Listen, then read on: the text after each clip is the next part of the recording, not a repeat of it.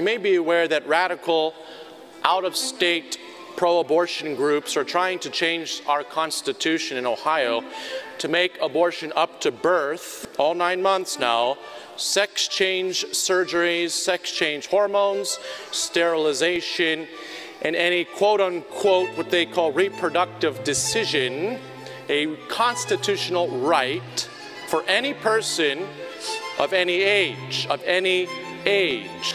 This change would remove and prohibit any requirement, prohibit any requirement for parental notification, consent, or involvement regarding these so-called reproductive decisions, sexual treatment for minors, etc.